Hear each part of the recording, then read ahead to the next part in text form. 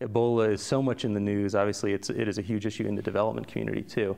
Um, you've been praised, including at this plenary session, for the strong health systems that exist here in Ethiopia. You spent much of your career working on that. Given your experience in health, how do you look at this Ebola crisis? You know, we have been advocating about uh, primary health care since uh, the Alma-Ata Declaration in the 1970s.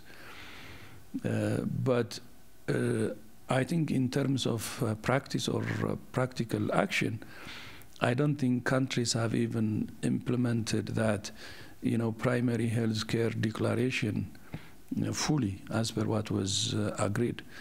Uh, but not only in developing countries, even in developed countries, universal access to primary health care is really important because uh, Ebola could be prevented through simple health promotion and disease prevention uh, activities. And uh, I think not having a strong primary health care is long overdue. Uh, I don't think we should uh, really, uh, what do you call it? Um, uh, we should excuse ourselves for lack of financing because building a primary health care is not really costly. In Ethiopia, for instance, it didn't take us to more than uh, six years to have near universal access to primary health care, to have a health post in each village and to have a health center for 25,000 population. If you have that kind of system, then uh, you know any uh, you know uh, breakout, uh, any outbreak can be detected easily and can be contained and information can, can also flow through the system. And since this health, uh, you know, the primary health care is close to the community, can advise the communities to do basic health promotion and disease prevention activities to contain the disease. So um, the reason I'm saying this is, okay, Ebola is raging now, but let's still consider Ebola as an opportunity to build the primary health care of the affected uh, countries and even even uh, beyond, at least to uh, you know have an impact now, but even to prepare the system uh, for the future because there will be other uh, uh, challenges in the future too.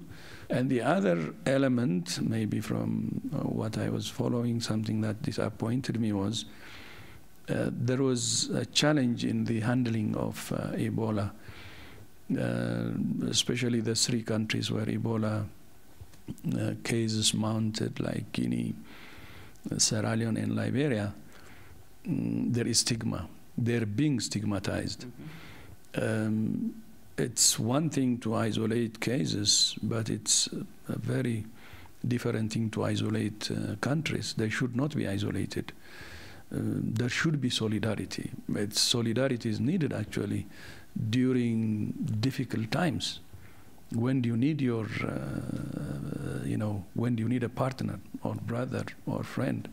It's during difficult times. We should be able to support them in any way possible, and we should um, express our solidarity now. It's not just um, a health problem now for these three countries it's becoming economic problem.